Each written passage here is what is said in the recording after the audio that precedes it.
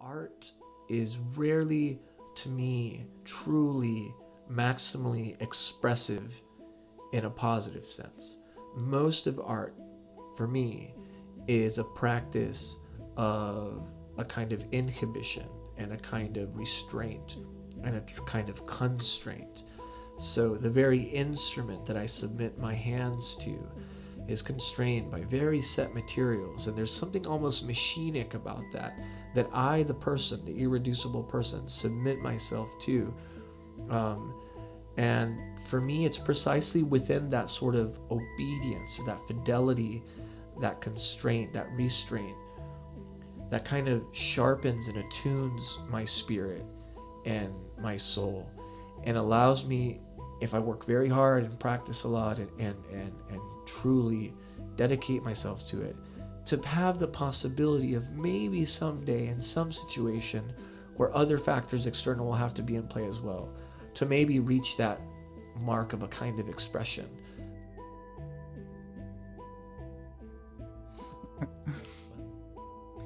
All right. Uh, so today I'm speaking with Sam Rocha, Dr. Sam Rocha. Uh, Sam is an associate professor at the Department of Educational Studies at University of British Columbia. He has written several books, including a primer for philosophy and education, which he has written in both English and Spanish. And I remember you saying that you prefer the Spanish version. You're more happy with that. Uh, do yeah. And uh, tell them something beautiful, which is a collection of essays, and then folk phenomenology, and more recently syllabus as curriculum. And folk phenomenology is also the title of his upcoming podcast, which I am really excited about. In addition to being a scholar and having an academic life, he's also a musician. And if you go to if you go on SoundCloud or on YouTube, you can find his lectures and his music. And uh, for the past couple of days, I've been listening to the most recent uh, work you did called the, the Freedom of Dialectic, which is a strange single track album uh, from beginning to the end. It's uh, yeah. So uh, in addition to all these things, which are kind of like static facts in time, you can also I, I put a link to your bio. So if people want to know more about your history, they can also find more there. Thank so you. welcome. Thank you for joining me. Yes, thank you, Davood. So maybe for this conversation, we can begin, at least begin, we don't have to stay, but we can begin with a topic that is, I think, central to your to into your work.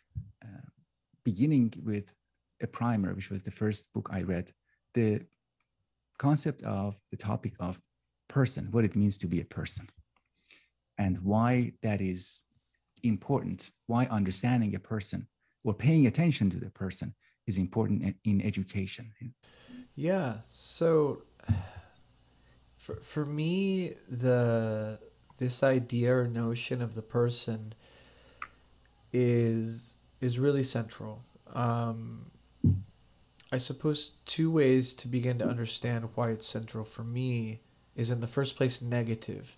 So I use the expression person as a way to distinguish what I'm talking about from other potentially colloquial terms or even in ordinary language synonyms such as an individual or uh, uh, I don't mind this phrasing, but I don't. It's not my favorite. A subject, or um, or a human, for instance. Hmm. Um, I prefer human person, for for instance, as a way to refer to uh, the kind of person that, that humans would be. Um, and what that allows for is for a fairly expansive uh, sensibility where we could consider uh, many, or, or at least maybe three kinds of personhood. Uh, the one being the one that you and I probably, and most people listening to this, because I assume they'll be human persons. Um, I don't know of any human, non-human persons who get onto YouTube. Uh, so within this world, uh, the the sort of human person is central. Uh, I come from a religious tradition, though, where we also have a sense of like the persons of the Trinity, uh, and so this kind of divine or theological, transcendent uh, entity of a kind of personhood, angelic personhood, we might say. Um, and then I also think that there's, in a more ecological, maybe secular sense, uh, senses of sentient life uh, and and non-human persons who maybe are not divine in some sense, but that are uh, uh, a part of us. I have a I have a pet dog. I have a difficult time excluding um, our, our pets who are such. You know, I, I want a more dramatic example. Our, our cat died. Uh, we only had this cat for very small, about three months, Dolly, and we stood there with Dolly as she was being uh, put down, right? And and I have a difficult time reconciling the emotions of that time as somehow outside of the realm of personhood, right? So, so personhood allows me in this negative sense to begin to both excavate against maybe a certain vocabulary that I want to uh, distinguish it from, and also amplify it within this at least tripartite uh, range. But none of this tells you exactly what I think a person is. This is more sort of maybe some of the strategic reasons or some of the kind of uh, the sense of the place, at least the conceptual placement where I see the questions of personhood coming. Mm. I think the central idea for the person, um, among others, but I think this is one of, is the irreducibility of the person. Mm. So a person is a whole that cannot be reduced to the sum of its parts. So a person is not a machine. A machine is a whole that is literally nothing but the sum of its parts. And so if a part goes missing in a machine, it doesn't function properly. Uh, a person in this sense, uh, I think, is interesting because it's irreducible, and its irreducibility means that some of its parts are perhaps optional. Um, mm. And uh, and it makes it more mysterious. You know, I, uh, one distinction I'll use to to to toy with the idea of the person is the distinction between the who, uh, W H O, and the what, W H A T. So, who am I? Well, I answer that question oftentimes with my with my given name, which is Sam, and I've had this name for 38 years, and I think that there's a sense of who-ness of who I am that that name gestures towards or sketches uh, that reliably uh, is true across these 38 years. At the same time, many things about me have changed. I have less hair. I have uh, uh a different sized, uh, shaped face. A few weeks ago, I have I have more hair on my face. I'm wearing a, a certain shirt, certain glasses. there, I have this tattoo that I didn't right here these are these are what's and if I if I had this interview without my shirt on, it'd be very weird, probably. But it would still be who I, I would still be me, right? Yes. Um, and so, to me, this difference between the who and the what gets us to the conceptual territory of this irreducibility of the person, where it's not an easy formula, I think, to solve. Uh, what proportion of who-ness or what proportion of whatness. It's simply that the person is a who who can never be wholly reduced to their whats. They're a mm. whole that are never uh, merely the sum of their parts. And this mm. distinguishes, I think, the person from other composite wholes we might think of, other organisms perhaps, uh, machines, for instance, uh, and those kinds of things. Mm-hmm. Um, in, in an important, I think, and consequential way. Now, for education, I think this is this is important for numerous reasons. But the most obvious reason is that whenever we think of education, one of the synonyms that come with education, teaching, schools, curriculum, is this very mysterious word called learning. And if we think of learning within an environment of a machine, such as a computer, for instance, uh, learning is simply the input of, of parts or, or things uh, into the whole and the assimilation of that whole of those parts into itself. And so uh, computers can learn, they can be programmed. Um, many machines can learn because their parts can be adjusted and, and att- uh, attuned and whatnot. In my view, this is, this is uh, learning without education. So, in my view, the persons uh, are, are not primarily distinguished by this mechanical sense of learning. Uh, this is because of its irreducibility, the person's relationship to learning is less reliant upon inputs and outputs and, and a kind of binary ones and zeros. It is more reliant on things like like memory. Mm. Uh, and what is the difference between remembering something and knowing something? That's mm-hmm. a very difficult question. And it's a question that uh, brings us, I think, fully into a zone of what I would call education, or at least I would call it education insofar as it pertains to persons. And so you can see that in extrinsic, I have this inextrinsic link uh, between personhood and education. For me, education is a thing for and by and with persons, whereas perhaps there are forms of learning, uh, perhaps there are even forms of teaching that really are outside of the zone or the realm of personhood, which are nonetheless probably very important, uh, but they don't uh, sit within at least uh, the place where I would put my interests. So. Mm. I, don't know yeah. how far that gets us, but that, that mm. would be my opening moves, I suppose. Yeah. That's a great starting point.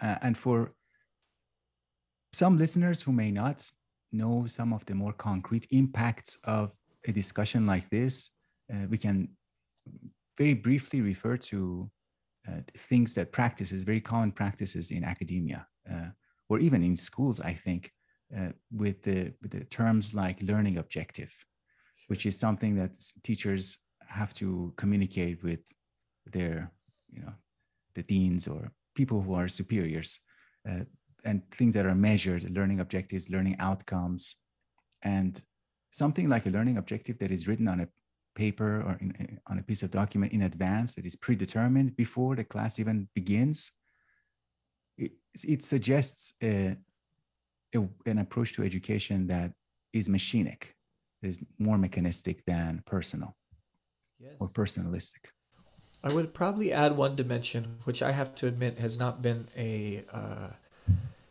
it hasn't been a, a, a featured part of my thought, especially in my earlier work, but that I've become much more. I, I've I've come to find that it's important to be added to this.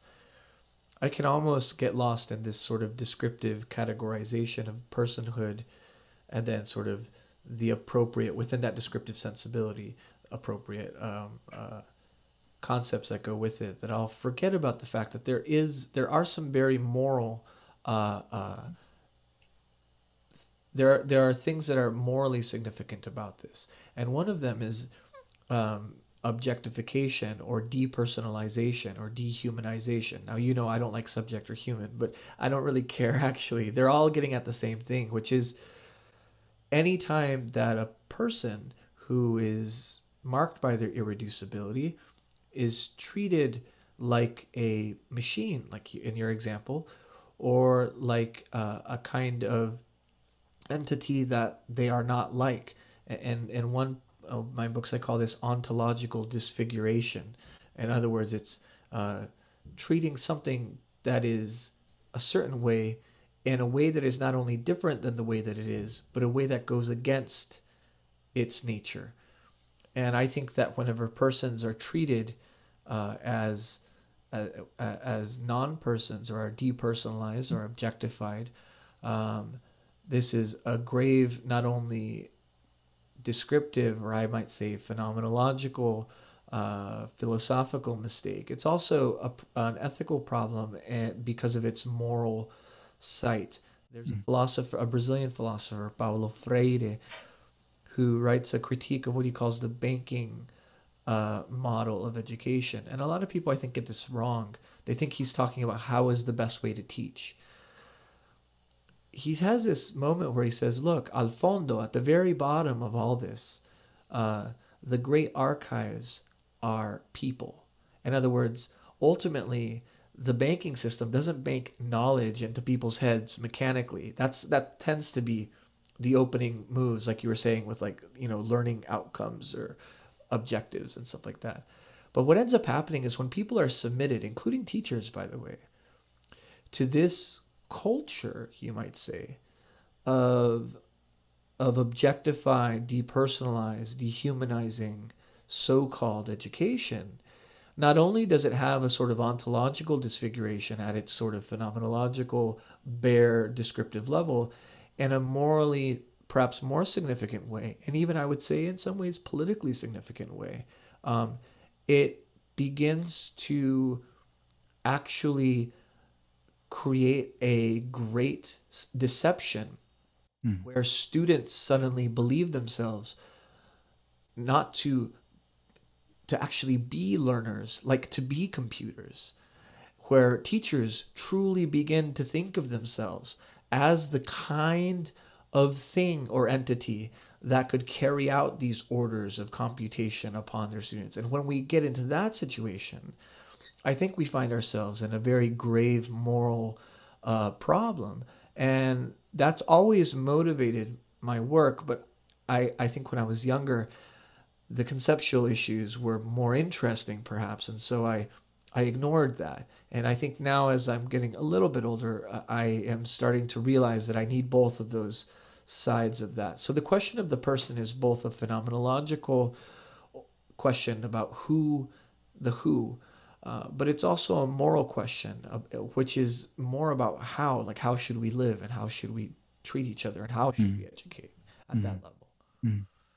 I was talking to somebody yesterday who was who is very sympathetic to this approach, but uh, she described this position that we are talking about, the attention to personhood, as uh, indefensible, relatively indefensible, especially when we are discussing in a let's say in a department of psychology or in a, in a department of education, and across the table we have uh, people who are uh, big on quantification and measurement and Huh. very uh, firmly establishable criteria of uh, keeping track of their uh, their approach. And then on, on this side we have relatively vulnerable and dif- more difficult to keep track of and even even when you talked about your cat there was this sense of vulnerability that detecting a person treating some someone uh, even alluding to that someone as a in terms of a person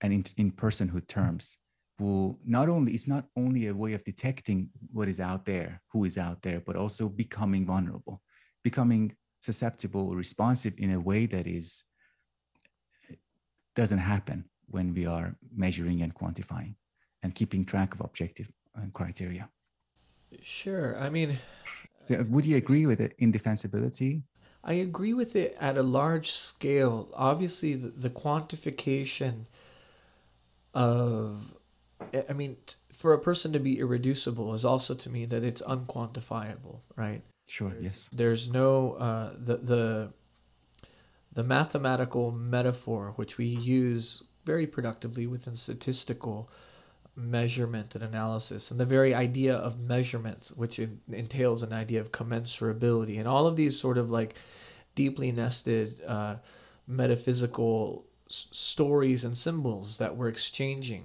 whenever we talk this way, uh, they all come up short. hmm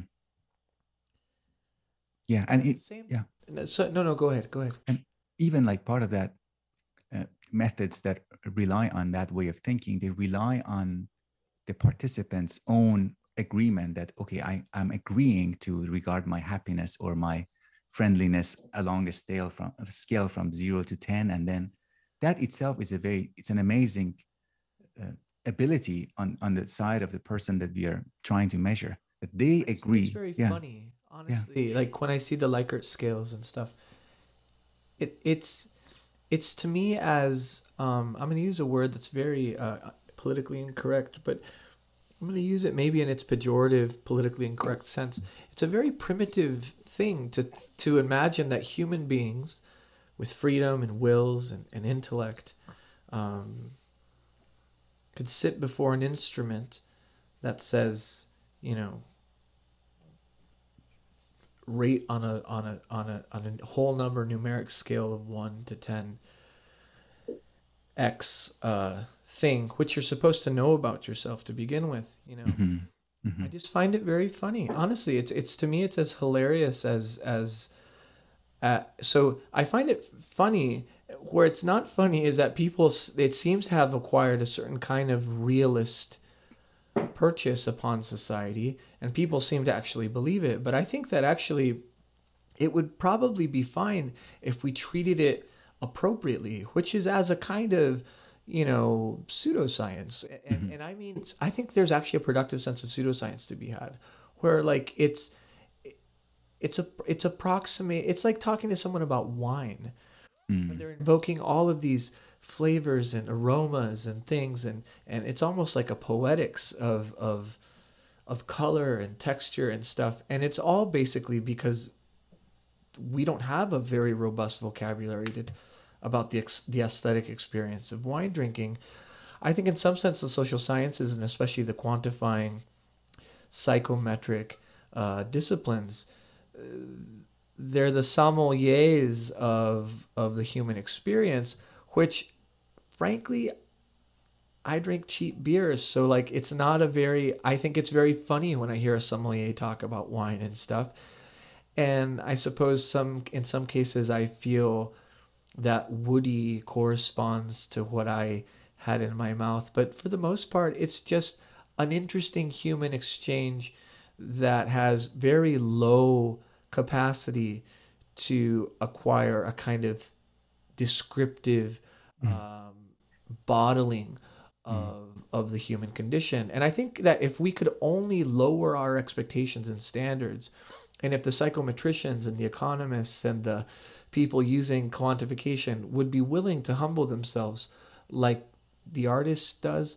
like I'm sure the culinary arts do, uh, like I think most everyone does, uh, I think we could have something good come out of that. Unfortunately, though, that's not what we have right now, and because of that, we're people like me even have to, and I know you, we have to become very aggressive to sort of uh, try to um, hum- humble these people by a kind of force. But I'll, I'll be honest, I've become even weary of that project myself. Mm. I'm s- I'm sick of hu- of trying to humiliate this thing that to me is so obviously incapable of doing something, and I have nothing, of course, to stand in its in its in its place, right? Um, uh, I have no instruments certainly that could uh, do what what it tries to do, and at that level, I admire it. You know, like when I read Frankenstein, I- have a difficult time completely uh, making fun of uh, Dr. Frankenstein's ambition and madness and desire and and and that genuine spark of of the human spirit. You know why? Because I'm a creative person. I like to make things. You know, and and he tried to make a, a creature, Mm. a sentient creature. He tried to make a person, which violates the very first rule of personhood. Mm. um, but uh, but I also admire that. You know, uh, this goes all the way back to that that uh, man is the measure of all things. You know, that Greek sensibility that you know the gods are not the measure of all things. We are, uh, and so we're gonna we're gonna rest free from this determinist, uh, divinized plane some capacity for human freedom. I mean, that's that's really beautiful, and in that respect, I have a lot of uh, respect, even for the educational project of of a kind of objectification, of a kind of depersonalization. The fact that we can depersonalize each other and ourselves is a sign of our personhood, no question. Mhm. It's all a matter of degree, and this is where the moral question comes in, and, and of also the moral context. And that's something that I'm only now becoming more attuned to and more aware of that I used to, I think, Mm. uh, pass over too easily. You talked about uh, first names or proper given names, proper names.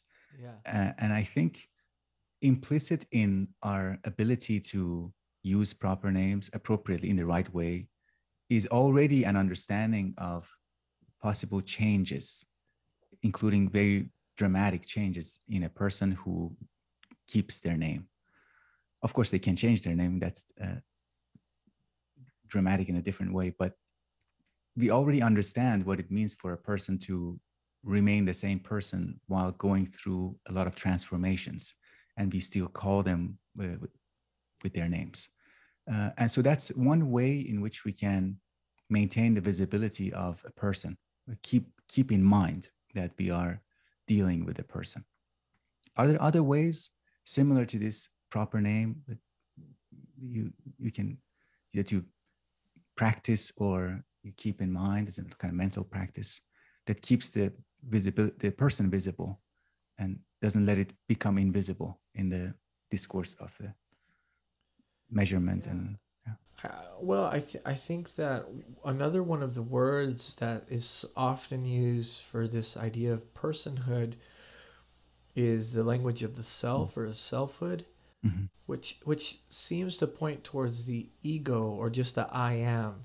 Mhm. This kind of existential, very inside uh, Dasein, Heidegger's term, level for the the possessive character of myself, that I am myself and no one else is quite me. And I think the the expression of identity often both individual or singular identity and then group identities from there. Um, this is really tricky territory to me. It's a territory that I also like the expression person because I think it, in some ways, gestures towards the fact that um, this is a very complex place of identity, singular and plural identity, social identity. I think culture comes out of that and many other things. But I don't think it's the only. Um, I don't think it has a monopoly over questions of personhood. And what I mean here specifically is that um, I think one of the most powerful ways in which we um, identify ourselves as being persons is not so much by through positive identification, but precisely by an ability to uh, to change and even to give away and give up um, our positive senses of who we are. So I think over time, um, a lot of the expressions of personhood uh, come from these negative certainties that we that we acquire Mhm. of, of of who we're not, of what we don't like. Um, I think our desires, in many cases, drive so much of this, and I think so much of desire is a matter of a certain kind of negative or at least very vague certainty that is only sharpened by by loss, and so. And by loss here, I mean uh, loss of certain kinds of characteristics. And so, you know, there's something to me really interesting about the developmental arc of the person let's say across 80 90 years right um, is that the two ends of of developmental life for a person are um, are years of, of great weakness and uh, and of fragility and a vulnerability like you said and these are never absent entirely through the middle because of mortality you know and so I think that, that that in many cases, facing our mortality, facing our fragility, um, is what builds the most powerful idea I believe we have for personhood, which is the idea of the soul. Mm. And I prefer this idea to the self, because the soul is immortal, the soul is eternal. The, the doctrine of the soul is, in some sense, I think, our our coping mechanism for our fragility, for our uh, for our weakness, and and this sense of soul, of spirit, for instance, uh, to to me is an expression of is the maximal expression of personhood. Mm. Um, and in concretely, I place this within the arts. So for me, there's a major difference between the plastic arts, the arts where I create an object, right? Uh, I say I paint something and I put it up on my wall, or I sculpt something and I have it there. I can sell it at the fair or something, ceramics.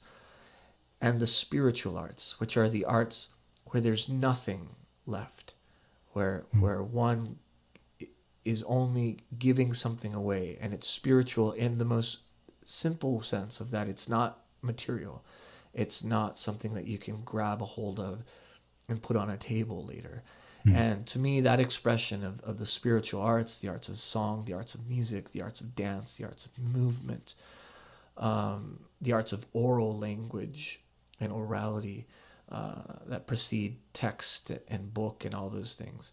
These are to me the the great um, the the the greatest markers, even more than our proper names. In fact, our proper names participate in that art of of of of, of orality and of naming and of and of language making. Mm. Uh, and that to me is really the uh, the place where the person uh, comes to be, and it happens to also be the place of education. Mm. Uh, education is the call and the response. Education is uh, spiritual to me, ultimately. Mm. It sounds like we can describe all the arts in terms of a general term that they are all arts of soulfulness. They are all different ways of achieving uh, the state of being soulful. It reminded me of this uh, part. the- the- There's a book, recent book about William James, which you recommended to me to read by John Kaag. And Yeah. uh, I'm reading it and I'm really enjoying it so far. On chapter three, th- there's a quote uh, from William James that says, "If you like to," he's he doesn't say it's like as a confident statement. He says, "I'm thinking about this. I'm getting more and more confident about this uh, assumption that if you want to get to know someone very well, the best way is to find out the situations in which they feel most fully and most intensely alive." And that reminded me of what you said about the the artistic pursuits and soul. Yes with with one base with one probably it's difficult in james's thought to know if this is an exception or a so some people when they think of arts and you can think about the arts on a distinction between the aesthetic and the anesthetic. So the aesthetic is what sort of gives gives life or, or, or fills spirit or soul. And the anesthetic is precisely that which deadens or causes sleep or slumber.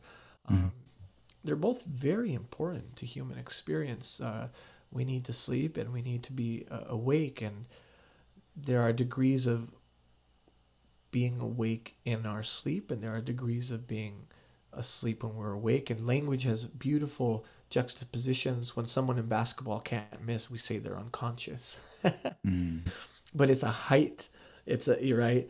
Wh- Whereas we have other places to, so, so there's a, there's a wit at, at play insofar as we're using words to traverse these ideas uh, at you know and to that degree if we pay too much attention to that we'll end up just only talking about language but i tend to resist that move myself Mm. but i admit it's it's kind of the water we're swimming in here at least um, but one proviso i put on the art point that you made Mm.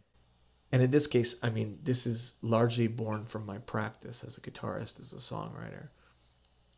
But it maybe better informs what i said earlier about the arts is that art is rarely to me truly maximally expressive in a positive sense. Most of art for me is a practice of uh, of a kind of inhibition and a kind of restraint and a kind of constraint. So the very instrument that I submit my hands to is constrained by very set materials, and there's something almost machinic about that. That I, the person, the irreducible person, submit myself to. Um, and for me, it's precisely within that sort of obedience or that fidelity, that constraint, that restraint, that kind of sharpens and attunes my spirit and my soul and allows me, if I work very hard and practice a lot and, and, and, and truly dedicate myself to it, to have the possibility of maybe someday in some situation where other factors external will have to be in play as well, to maybe reach that mark of a kind of expression. But I think it's very difficult to express ourselves. And I think one of the great lies of the arts, a popular understanding of the arts, and even of education, is that expression is sort of like constantly happening. I think expression is rarely happening because we don't know who we are, because we don't we, we don't understand anything. Right? Mm-hmm. I mean I mean everything is so difficult. So for me, like so when I, my students come to UBC and they have to get these things called research questions, and I, I don't know what those are exactly. I assign a research question to all my students. This is mm. your research question.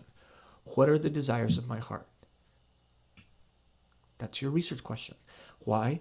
Because if you can answer that with even the tiniest amount of potential authenticity, then whatever results of that will not be fake, will not be bullshit to the same degree that it would have been if you would have tried to literally invent some fantastical projection of someone else's desires upon you in the form of a research question, right? So all I'm saying is that like yes to art, but no to a kind of ease of expression or to a kind of celebration of a kind of performativity or whatnot. Mm-hmm. To be an artist, Rilke in his letters to a young poet, you know, I think he tells the poet basically like, look, if you can do anything else other than be a poet, do it. Because the only reason to be a poet is that you would kill yourself if you didn't. That's the only good reason. You know, uh, Wittgenstein's um, The Duty of Genius by Ray Monk. The, uh, the duty of genius is essentially be a genius or kill yourself. These are the and genius in this case doesn't mean high IQ. It, it means sort of like be a person or be yourself or something like that, or or don't. you know, um, and so there's a kind of vitalism sometimes, especially in the Americans and especially in James, that I think romanticizes a bit too much the aesthetic and the artistic. And Kaag flirts with that sometimes too much for my taste. So I'm just mm-hmm. correcting it a bit here. Mm-hmm, mm-hmm, mm-hmm. when you were talking about expression and expressing, uh, I, I, started wondering about the role of audience, uh, both in classroom as when you when we express ourselves as teachers and uh, as a musician. Do you sense any role in in the audience in bringing out expressions in you that you couldn't uh, achieve without them or the kinds of audience i'm asking that partly because when you ask your students to to answer the question what are the desires of your heart what you're doing is one of the things that that question achieves is that it switches the audience in the in the person's mind like you don't have to answer to that audience answer to a different kind of audience by asking this question so a general yes. question about audience yeah so audience I'm going to play a, a, a, a philosopher's trick. Mm. It's a trick of etymology, which I'm I'm like. I love so, it. Yeah. I'm well. I'm so suspicious of it because I use it so much and it's so effective. So I always have to put this preamble that this is a trick. It should not be accepted uh, out of hand. But but audience is is a word that has I think some meaning left in its etymological roots because audire means to listen and so I think an audience is is uh, who is is listening, mm. and there's this expression of hineni. It's a it's a Hebrew word, uh, which uh, it's like here I am or I am here, and and it's an expression telling the divine, speak, speak, Lord, your servant is listening. It's, I am your audience, right? I am your listener, in that sense. I think that the external sense of audience is is is is an encouragement for the speaker to speak in a way to speak in the manner in which one can be listened to. So to speak with a kind of love, a kind of concern, a kind of care for for one's listener, right? Um, I think though, whenever one turns this internally, I think we, we can forget many times that we also need to listen to ourselves. Mm. Um, and so to speak in such a way that I can bear to hear myself speak is, I think, sometimes even more difficult than to speak to the sort of the other on the outside. Emerson has this, I think, badly misunderstood essay called Self Reliance, where he talks about how inside every human person there's this iron string that vibrates. And I, I, think here of like a big thick piano string, you know, that vibrates. And that that iron string inside every person is is God and is the divine. And so self-reliance means to hear the voice of God, not on the outside, not in the heavens, not in your brother and sister, but on the inside of your soul, which is deep down inside that vibrating iron string. Nietzsche, Frederick Nietzsche, a great lover of Emerson, he calls this the acoustic designation of genius. Hmm. He says before one can become a genius, in the same sense I think that Wittgenstein was thinking of it, um, one has to be able to literally, sonically feel the vibration of music in their in their breast and their chest, and this capacity to to somatically assimilate spirit is a kind of precondition, I think, for Nietzsche of uh, of life. And so, for me, audience is both externally a concern for for one's voice and a sense of responsibility and ability to respond to the call of the other. What is the call of the other that listens? It's speak. I'm listening, right? But I think it's also an internal capacity uh, to to listen to oneself and to even listen to oneself by by excluding one's more perhaps uh, excluding the, the the forms of selfhood that one that are at the surface of one's personhood but to try to reach all the way down kind of like a good deep breath right into that iron string zone where perhaps we encounter something like what Augustine in his little book De Magistro calls the inner teacher which for Augustine the inner teacher was Christ but he says his whole dialogue is that there is no teacher but the inner teacher. And I find this to be very true as a teacher. You uh, the teacher can never speak in such a way to the student such that they can cause causally the student to learn.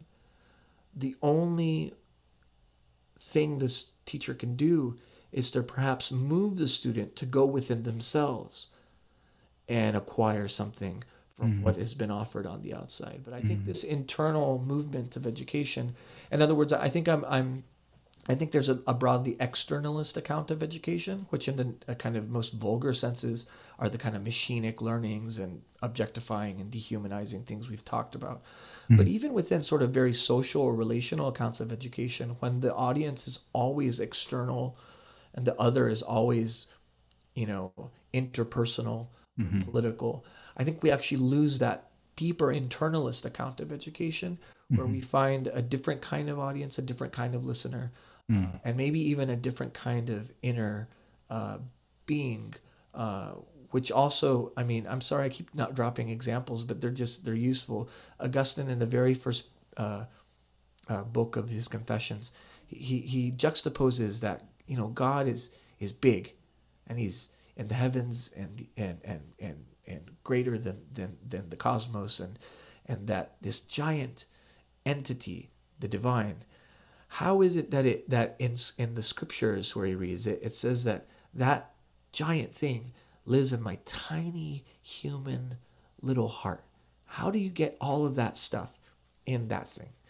And for him, it's this it's this mystery of, of scale between the God who created heavens and the earth and this tiny little voice inside.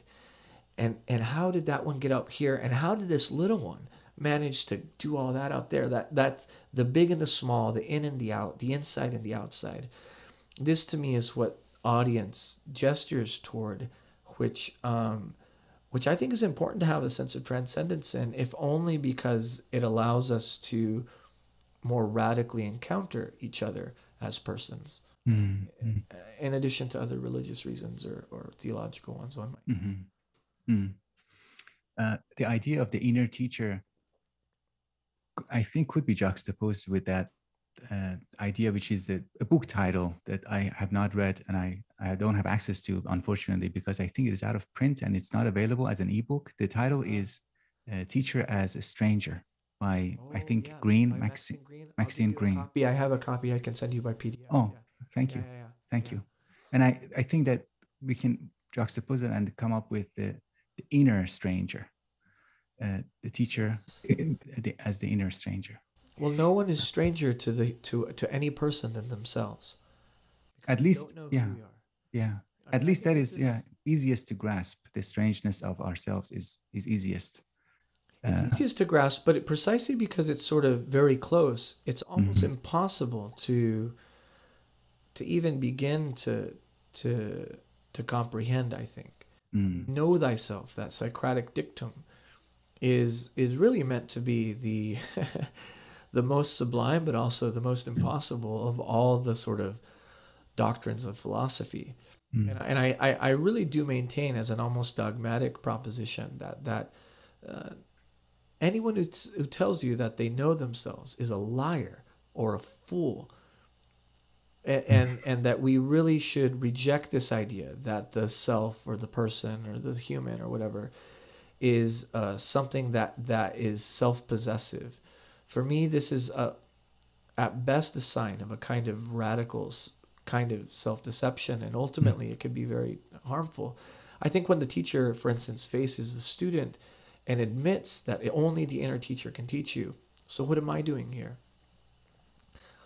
Well at that moment they give away something but i think they also achieve a kind of authority that really can't be earned in any other way Mm. uh, the only t- the only way the teacher can teach the student which is of course impossible because no one can teach but the inner teacher so the only option is for the teacher to sort of admit defeat at the very beginning and then accept that they're not never going to teach and and and and then and and take it from there and so for me you know to be a person is to accept the defeat that we that know thyself is an impossible dictum and so we begin there and it, and we and we start there and we end there right Mhm. Mhm. but it makes it more serious. This isn't, by the way, cynicism, nor is it a sense of, of I am, I'm all for tragedy. But this to me isn't a tragedy. For me, this is a key. Anyone who doesn't reach this, I don't think they even start. Mhm. You know, Mhm. Mhm. Yeah. Wow. But it is difficult. It's difficult to maintain that orientation and maintain the the belief that we are not there and we will never be there. Uh, to be to be to work under that assumption. I think it takes time. I think it take yeah. I mean, it definitely takes time. I think this is where traditions are really helpful. Hmm. And I think there's traditions of many kinds. There's traditions of labor, traditions of food, folk, uh, folk ways of, of being, and and uh, I think religions are among the uh, the most uh, storied, probably. Um, but I, I do believe that there are very ordinary and very enduring practices and ways of living and even ways of, of like like strict ways of living like rules uh, for life Mhm.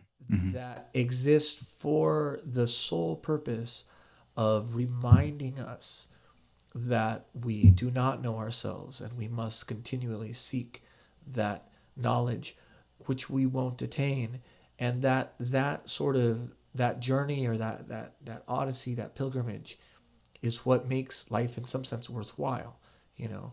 Mhm. um, t- to me this is this is a a place where we can in some cases i think this is where philosophy is born from. And and letters especially literary letters uh, literature is born from. But i don't think we have to simply remain there. I think we can see uh, this and and and and many forms of, of life and ways of life and, and, and traditions that carry a little bit of a kind of a battle tested uh, portrait and, uh, and and conventions for ourselves. Hmm. So I'm, I'm a great lover of traditions, and to me, tradition has nothing to do with the past. Hmm. Um, to me, traditions uh, ultimately, when people start getting nostalgic about the past, I think they've abandoned tradition. Uh, for me, tradition is is all about the future. Um, for me, the whole point of a future is is tradition. Uh, otherwise, what's the point, right? Hmm. Uh, it's the same sensibility, I think, in this idea of genius from Wittgenstein or from Nietzsche or Hmm. Emerson. right? Mhm. Interesting. I, I would like to ask more questions about that, but for my for the final question for this conversation, Yes. I'd like to ask you about your experiences. Anything that comes to mind you'd like to share, or anything striking about your uh, recent experience uh, as a as a podcast uh, host, yes. having these conversations. Yeah, yeah, go ahead. very excited about this because I'm about to record my first solo uh, portion for the podcast, which is to talk about the interview, and and I have to make decisions. I have to decide: do I take the word up and I tear it between enter and view, and I kind of open it, kind of break it apart, in order to kind of make it strange and then work from it from there? Mm. Or do I start with the familiar of like, well, most for most of us and for me for a long time, the interview was a place to try and get a job Mm. where I would try to give answers to someone that that I, I hoped at least they would like sufficiently such that they would hire me Mhm. um, or, or or perhaps I talk about the interviews that make up the the podcast, which which the most of the podcast is dedicated to interviews with people of different kinds, and what that experience was like, and leave out the kind of preambles and just jump into what that was like. Um, s s- all that to say, I'm excited to talk about this. Only to say that um, since I'm not a social scientist, and since I've been such a kind of flamboyantly anti-social science person, I think I've I've neglected a lot of the intimacy of social science, especially within the art of interviewing Mm. and and uh, and uh, speaking with a person, uh, not not so much aimlessly, but kind of trying to be a respectful companion, guiding their words and their reflections in such a way that um, that the listener, eh, that the Mm. audience is maybe able, but also sometimes going in and really just spending time with that person. Mm. Um, When you said intimacy, do you mean as opposed to uh, solitary work? Yes, Or- yes, exactly, Okay. exactly that. Mhm. Um, so much of my work. Uh, this is why the classroom is so important. But the Mm. classroom for me is a bit of a pulpit. It's a bit of a of a place for me to almost speak into a kind of void Mhm. where the student and their freedom can fill or they can choose not to. I'm I'm absolutely opposed to telling my student that they should do almost anything really Mm. except for if they're going to they have to do everything right? But for me it's a, it's a sort of you know if i speak into a void then they can either fill that void or they can say you know what? This is a bit much. I'm going to sit back. I did my reading. I'm very tired or you know. To me the, the environment of freedom is conducive to that. But in an interview you don't have those kinds of silly pedagogical distances and things you have two persons who are who are talking to each other.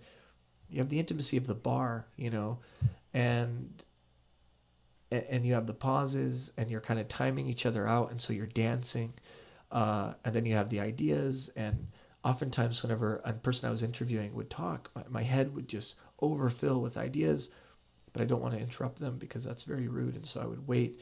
But by the time they were done and they paused and i felt i could jump in my head had too many ideas and so my inclination was to say well these are the seven ideas that i have Mm. choose whichever one you'd like to run with and Mm. I'll take I'll run with you and leave those behind. And then Mm. they would and I'd run with them and then I'd be like, I'm very sorry, but I have to go back for that last one because it's even more important now than it was. And so I'd go get it. So I think as an interviewer, I'm pretty crazy. Um I uh I'm often also more impressionistic. I'm not really asking questions. I'm more saying if I say that, you know, uh love is blind. And then I also say that it's kind of funny that we might go extinct because of our reliance on dinosaurs uh, through fossil fuels.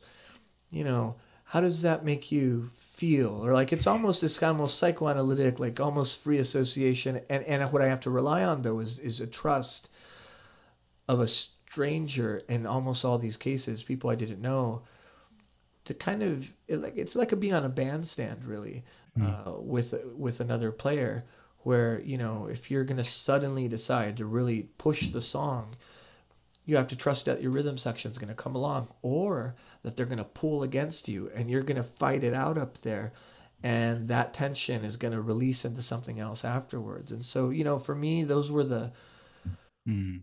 Those were very much the uh, the sensations of it all. But in the end, I thought I, I came away with some really clear uh, teachings. I learned that that my resistance to violence within political discussions and direct action had uh, somehow uh, receded than it had in the past, and I think a lot of that had to do with the subject matter of, of, of anti-black racism and the the reciprocity of violence in the face of enslavement or things like that. It didn't have the same, maybe off-putting liberal uh, reaction in me. Uh, but I found that very interesting because in the past it's been something that I've always responded against very strongly. Um, all my interviews on the podcast uh, of the Central 12 interviews are all with women. Um, and I made a choice to do that. And I don't want to essentialize too much across it. But I was very aware of the fact that I was the man in the interview. And there are some things that men do, so I hear, that uh, that that are that are that are not good, like uh, talking over people, like uh, Mm.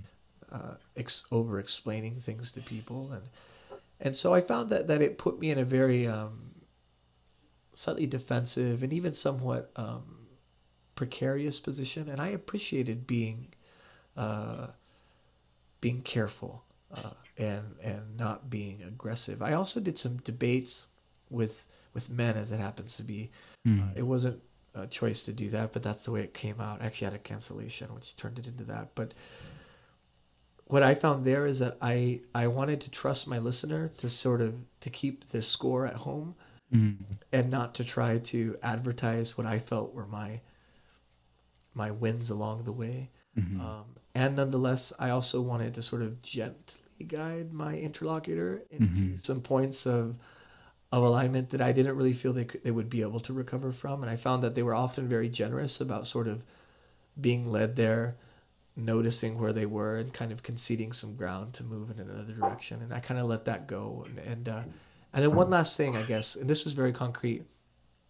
Uh, towards the end of the interview, whenever I noticed it was ending, I would begin to kind of hover over the stop button and see Hmm. if I could kind of curate in vivo with them what that last word would be and really listen to them. And I found that it forced me into a kind of mode of listening that was even more intense than the di- the mode of dialoguing because I was just waiting for them to to say something great. And Mm. there's something very very superstitious and kind of stupid about this whole like you're rooting for them as you're listening to them. But we have an expression in spanish called echarle ganas. Ganas means desire or want to. Um, gana means like win or gain. So it's like it's it's something it's a weird word for, for to translate but to echarle ganas means to work hard or to throw your desire or your want to at something Mhm. and I felt like listening to them, I was both kind of listening to them saying, Échale ganas, like, you know, come on, you can do it. You're almost to the end. But also throwing a lot more of my desires and probably my projected desires for the show, for for my life, for this time, for this evening, for you know, into that. And so whenever I reached that point where like, yes, we got it, I would end it and they and I would never tell them. So then they would just like be talking and I'd be like and they'd be like, This recording is over and they, they and they were like, What happened? I was like, You did it, great job, you know. Um wow. so, so they had no idea, of course, that that was happening. And so then I would explain to them, and and you know, some of them were kind of like weird. And Ye- others that's like, unusual, "Okay, yeah. that's great. Yeah, yeah, yeah. But it's it's unusual because you could have done that afterwards, like after after the recording, you could have Yes, I could cut. have yeah, yeah. yeah, yeah. No, I didn't. But it was yeah, as you said, en vivo. yeah. Yeah. Wow. And, and the place where that became more most dramatic, and I think the most dramatic response I got to it was that I said, you know what? I even want to do this in the, in the debates. In fact, I want to do it even more in the debates because I want to give my interlocutor in this non-mediated critical discussion about things of which we overtly and kind of fiercely disagree. I want to really make them feel like they were treated with with respect. You know? Mm. And so I, I remember doing it with a person who I've debated very publicly, uh, Trent Horn. Mm. And and when I, I cut it, the question was like, "What is the good life?" You know, and he gave his his version of the good life, and I'm not inclined to actually debate people's views of the good life. It, it's interesting to me in and of itself. I and so I just let him, you know, say his piece, and then I, I cut it, and he was shocked. He was ready for the rebuttal. He was ready. He was still kind of still in a in a more agonistic exchange, and I had already given up, and I was happy for him and said, "Good job," you know, and and I think he was a bit um, surprised by that, but I think it, it was it was a, a positive surprise for us. It was it was a gesture of a kind of goodwill, and and hopefully when people hear the interviews, they'll. Uh, they'll be able to see kind of what that's all about, Mhm, mhm. how it goes. Yeah, I'm really looking forward to them. Uh, folk phenomenology. Once again, I will. Yeah. Uh, I will leave links below uh, to your YouTube, SoundCloud, and other places. Well, thank you so much for joining me, and I hope we do this again. Maybe at a future point we can center the conversation around uh, religion or spirituality, or family, or you know other topics that you know we're interested in. Absolutely. All right, Thank Sam. Thank you so much. Yeah, cheers.